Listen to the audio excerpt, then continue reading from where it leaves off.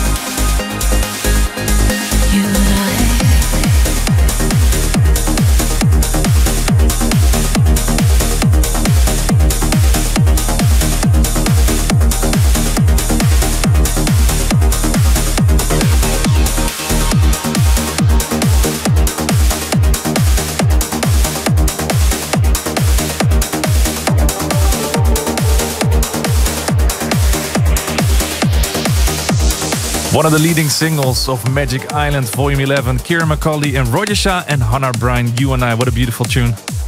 You're tuned to State of Trance, episode 1077. My name is Ruben de Ronde, coming to you from the studio in Amsterdam. This week, a special summer session with the man that invented Balearic Trance and even scored a Tune of the Year in this radio show in 2008 with Lost, Roger Shah. Hello, hello. Welcome back once again. Congratulations on the release of Magic Island, a beautiful, uh, beautiful CD. It's laying right there. Yeah. It's a compilation uh, CD, um, but it feels like an album with so many tracks that you produce yourself. Yeah. Um, the reason why I do that is, um, especially for CD one with more the deeper sound, um, I always set the tone and the mood Yeah. for the album, um, which gives me the chance to use some of my aliases um, to just yes, Bring out your diversity.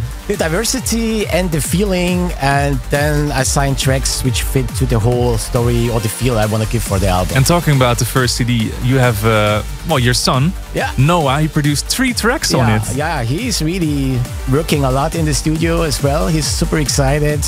And when he came with me last time here, it gave him actually a huge, a huge boost uh, of excitement. Actually, it actually was nice to be in the studio, talk with Ruben. And Yeah. he really got very excited and worked more on stuff. And then he was so, like, okay, I'll produce just as much as my father does. um, yeah, maybe. Another tune uh, coming up right now, and uh, the man is here in the studio himself.